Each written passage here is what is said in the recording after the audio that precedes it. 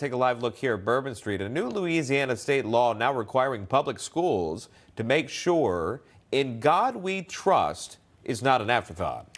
The legislation makes displaying the national motto in every classroom of every building mandatory. Louisiana providing additional guidelines on how the national motto is to be displayed, including size and composition. Schools can purchase the signs with public money or purchase them with donations. And with that, we'll bring in Dr. Cade Brumley, the Louisiana State Superintendent of Education. Uh, Dr. Brumley, thanks so much. Good to see you um, yeah, on this topic. Absolutely. And God we trust. Uh, uh, seemingly doesn't seem like it should go anywhere. Tell us about the significance of this new legislation there in Louisiana. Yeah, look, the, the National uh, Opinion Research Center just released a study, and it said in 1998, 70% of Americans believe patriotism was very important. Uh, move forward 25 years, they just released the same report. Uh, it says about 38% of Americans think patriotism is very important. And it's even more concerning with individuals under 30, where that number's around 23%. So put that in perspective.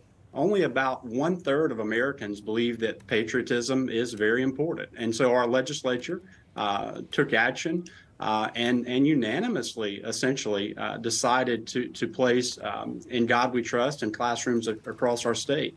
Uh, that particular bill passed 98 to 4 in our House uh, and unanimously in our Senate and was signed into effect by our governor. And so, uh, moving forward, classrooms across the state of Louisiana will have uh, a sign, a poster in their in their classrooms that says "In God We Trust." Well, you know what, sir? There's been some criticism for it. I got to show you this. The ACLU of Louisiana denouncing the new law. They say it's our belief that parents, not school officials, should be responsible for shaping their children's religious education. Dr. Brumley, what's your response to that? Well, first of all, look, the, the parent is the first teacher of the child, without a doubt. Uh, but at the same time, what, what's great about our country is we are supposed to have religious freedom uh, without persecution. We're supposed to have uh, freedom of speech.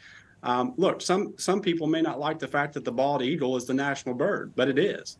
Look, this is a subtle reference to national unity. It's a subtle reference to, to what Reagan said freedom uh, is but one generation from extinction. And hopefully, it'll cause our students to just take time, pause, uh, reflect on the values that bring us all together, the things that we have in common, and those things for which we should be very thankful.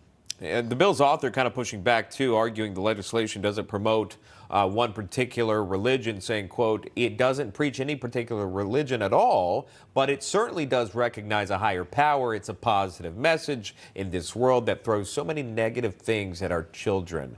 Um, talk to us about that. Do you share that belief, again, of what you just heard, that statement?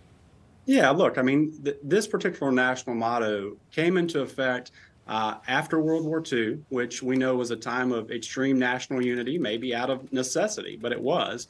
Um, and when the Cold War began, uh, actually, President Eisenhower signed this into law in 1956. Um, so it, it is our national motto. Uh, it is what we share as a, as a country. Um, it, it does not recognize one particular religion over another. Uh, it, it is just recognition that in God we trust is our national motto. Uh, values in this country matter, and it's an attempt by our legislature, much much like uh, in the 50s when there needed to be patriotism to defeat communism, uh, that American values still matter in, in an exceptional country. All right. Uh, bringing back patriotism to the classroom. It's not something you hear every day in this news cycle, but Louisiana is taking a step forward in doing so. Doing so. Uh, Dr. Cade Brumley, thank you very much for your time today. Yeah, thanks for having me. You're welcome. Take care, sir.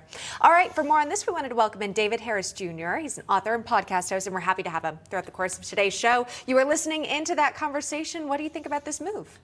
Well, I think that it's a, move that's necessary. I think that kids today, especially in schools, need to have a greater appreciation for the fact that this foundation of our, of our country was based on Judeo Christian values. It is in God we trust. And while it doesn't favor one particular religion over another, uh, the statement in and of itself is a powerful statement, especially in a current society where they're trying to take God out of everything. The, the other thing that stood out to me is that the ACLU wants to say, well, uh, parents should actually be the ones that are in charge of a child's, uh, you know, religious beliefs. But now let's do sexual education.